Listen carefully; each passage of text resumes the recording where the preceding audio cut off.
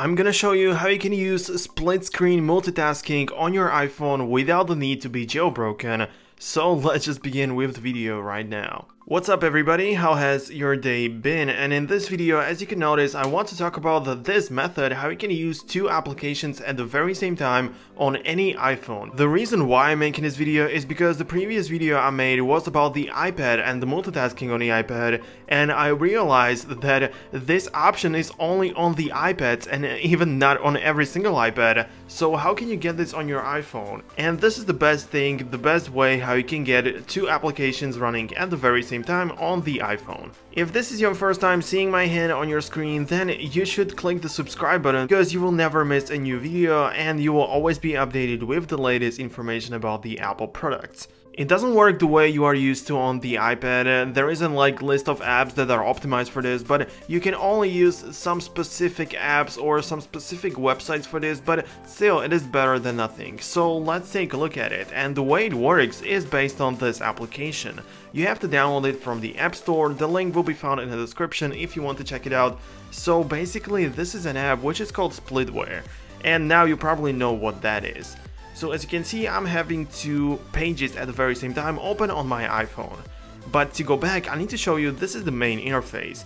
By the way, it is optimized for the iPhone 10, so it's gonna use the entire screen. That is a very good thing because uh, the iPhone 10 has a very tall display, and with this you can really use every single pixel. So you basically have these options. So these are like the prepared options that you can pick. So there is this eBay and Amazon that I have showed you, so you can compare the prices of one product and there is Google Maps, there is Instagram and Twitter, there is Google and Facebook, there is just Google or YouTube, and there is this S option. But let me show you what it looks like when I click on the Instagram and Twitter, because these are very popular social media, so let's take a look at it. So now, as you can see, the screen has been divided into two parts.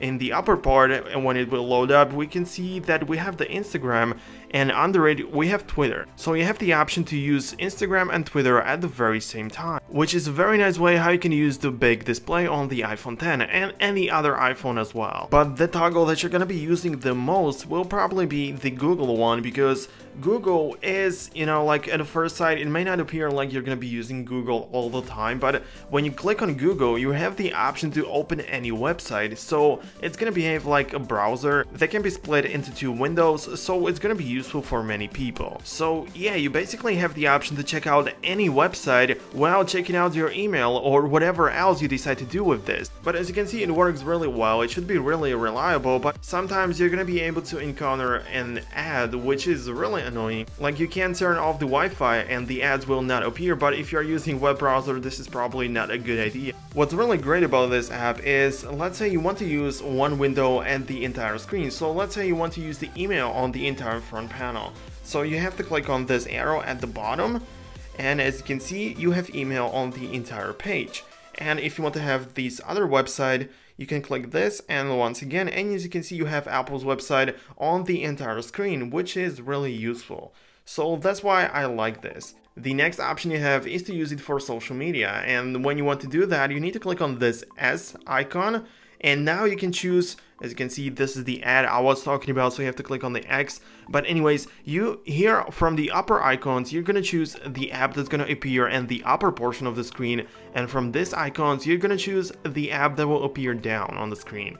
So let's say I want to use Facebook and Instagram at the very same time, so I'm gonna go like this and wait until it loads up and as you can see I have Instagram and Facebook on one screen. The application I'm talking about is of course free but there are some alternatives to this so if you can take a look at this, this one is called the Dividr but this one doesn't work that well. As you can see if I open it up it's not optimized for the iPhone 10 so we have this black bars at the top and at the bottom which means that we are not using the entire screen. You also have this blue part which is in a way and there is nothing which you can do with this.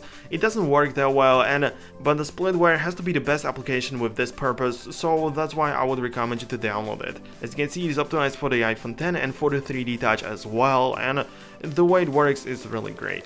But if you want to use it for YouTube and browsing the web at the very same time, keep in mind that you have to uninstall the classic YouTube app that you have downloaded to your iPhone, because if you don't do it, this is what's gonna happen if you try to play video using this app. So you click and you're gonna be redirected to the YouTube app, which is not something you want and that's why you need to delete it, but it's not such a big deal, but I just have to tell you this. So that my friends would be the end of this video. I really hope you enjoyed it and I just really hope that you found this video useful. Please let me know down below in the comments what you think about this app and if you're gonna be using it because I just really want to know what people think about this type of stuff. I just want to say thank you very much for watching until the end. I really hope you enjoyed this video and if you did, please leave a like to let me know that you liked it and also subscribe for more content like this and make sure you will never miss a new video when I post it. So see you in the next video guys, peace out.